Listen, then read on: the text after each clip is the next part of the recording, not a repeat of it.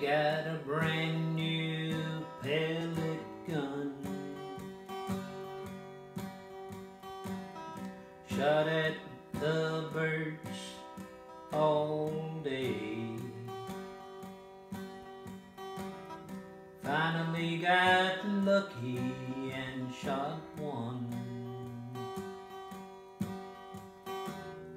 Ran hastily over to the place where it lay.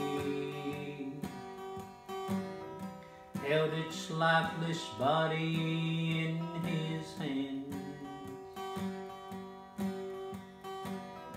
Walked back over and sat down on the porch. He noticed a little drop of blood that ran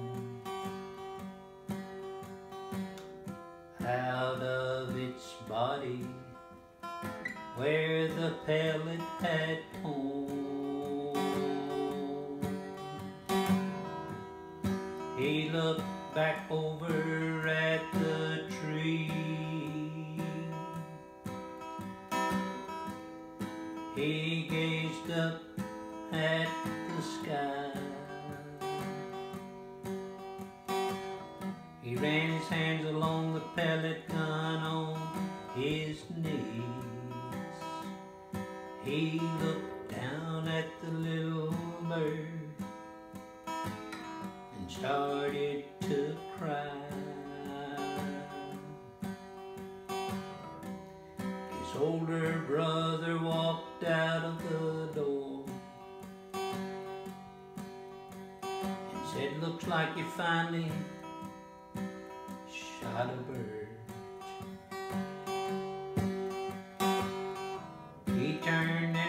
Back inside when he saw that he was being ignored. But the little fella was too choked up to say a word. Then he laid the pellet gun down and gently picked up his fallen prey.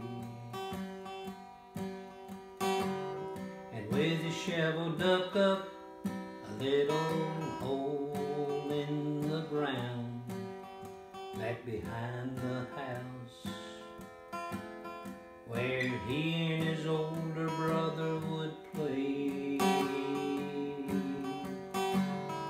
That night before he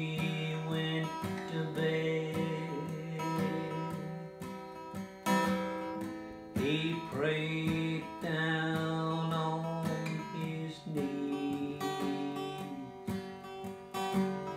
about the guilt in his heart and the conflict in his head.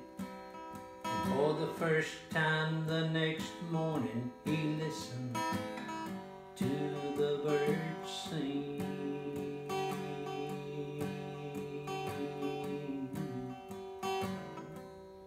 He got a brand new pellet gun.